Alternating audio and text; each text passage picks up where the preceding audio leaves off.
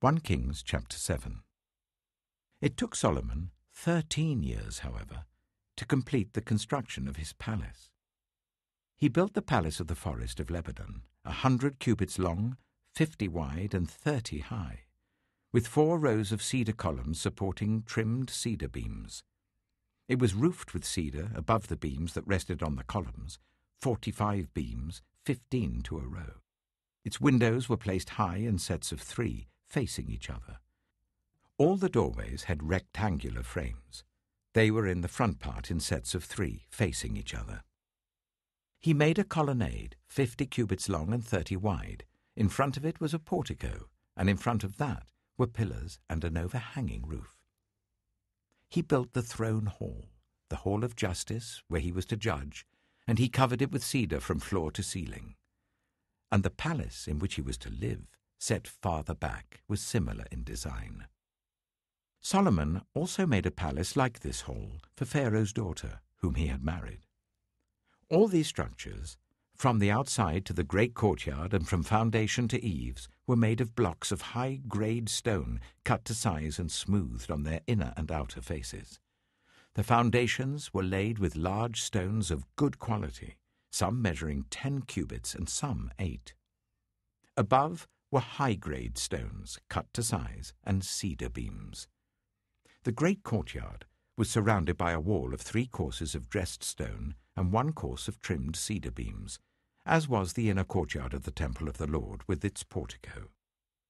King Solomon sent to Tyre and brought Huram, whose mother was a widow from the tribe of Naphtali, and whose father was from Tyre and a skilled craftsman in bronze.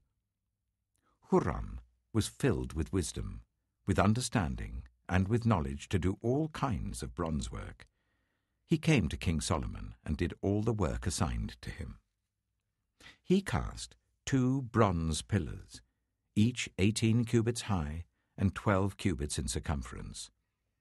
He also made two capitals of cast bronze to set on the tops of the pillars. Each capital was five cubits high. A network of interwoven chains adorned the capitals on top of the pillars, seven for each capital. He made pomegranates in two rows encircling each network to decorate the capitals on top of the pillars. He did the same for each capital.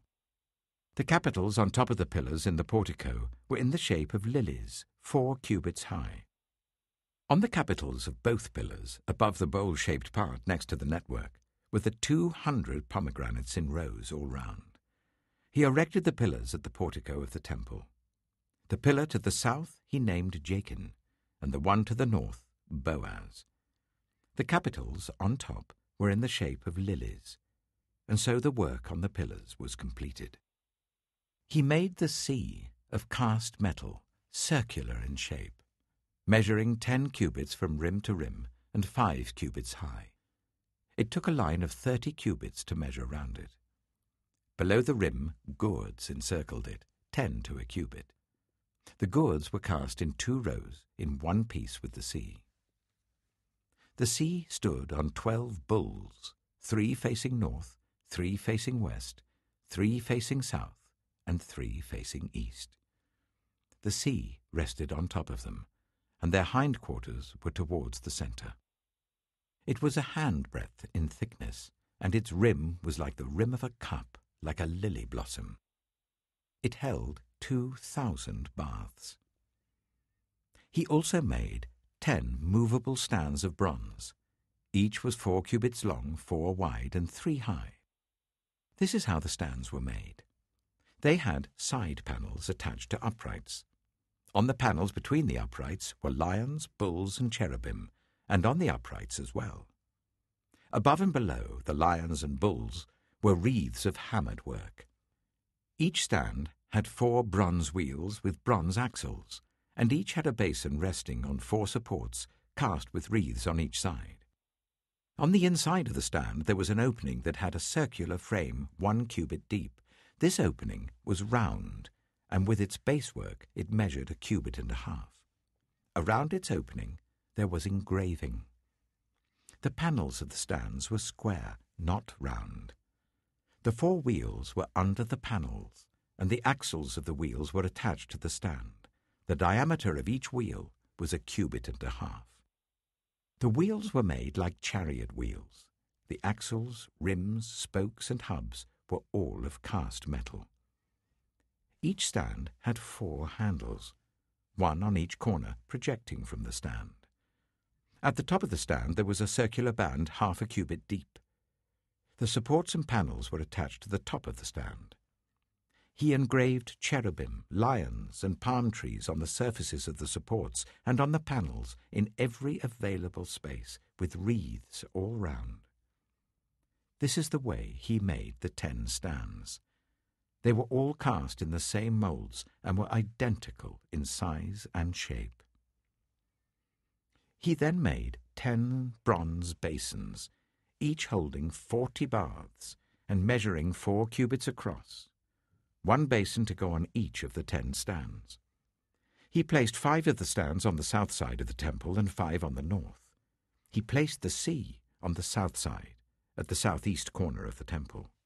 He also made the pots and shovels and sprinkling bowls. So Huram finished all the work he had undertaken for King Solomon in the temple of the Lord. The two pillars, the two bowl-shaped capitals on top of the pillars, the two sets of network, decorating the two bowl-shaped capitals on top of the pillars, the four hundred pomegranates for the two sets of network, two rows of pomegranates for each network decorating the bowl-shaped capitals on top of the pillars, the ten stands with their ten basins, the sea and the twelve bulls under it, the pots, shovels, and sprinkling bowls.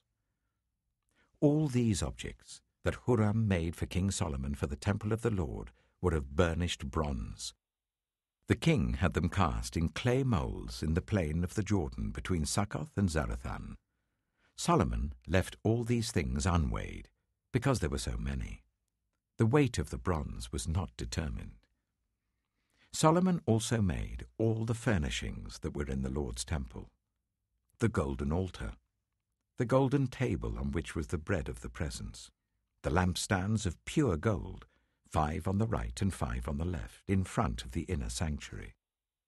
The gold floral work and lamps and tongs, the pure gold dishes, wick trimmers, sprinkling bowls, dishes, and censers, and the gold sockets for the doors of the innermost room, the most holy place, and also for the doors of the main hall of the temple.